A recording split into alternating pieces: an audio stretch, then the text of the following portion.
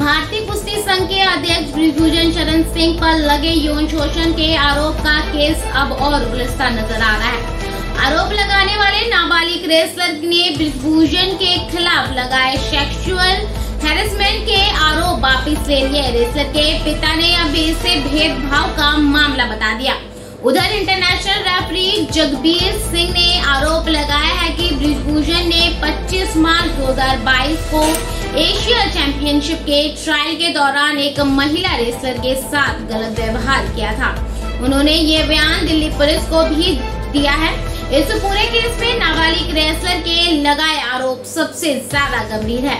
नाबालिग रेसलर ने 10 मई 10 मई को मजिस्ट्रेशन के सामने इस बयान को दर्ज करवाया था। इसके आधार पर ब्रिजभूषण पर पॉस्को एक्ट की धारा 10 के तहत केस भी दर्ज हुआ है। इस अकेले केस में ब्रिजभूषण को 10 साल की सजा हो सकती है।